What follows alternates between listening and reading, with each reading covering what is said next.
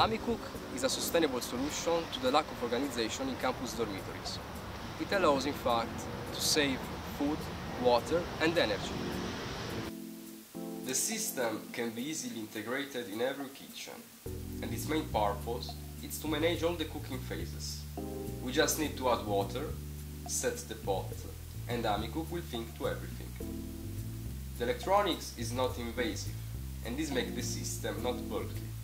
AmiCook has sensors and actuators which will detect when the pot will be put on the stove, when the water will be boiling, and then uh, will control the stove and at the end it will dispense the correct desired amount of pasta. You can interact with AmiCook through its dedicated mobile app. You can create, take part or delete a meal by simply having a smartphone. All the system communication will be managed through a server deployable on Wi-Fi, so AmiCook will be accessible all around the campus. So the students don't waste their time and they receive a notification when the meal is ready. And that's how an organized and happy meal looks like.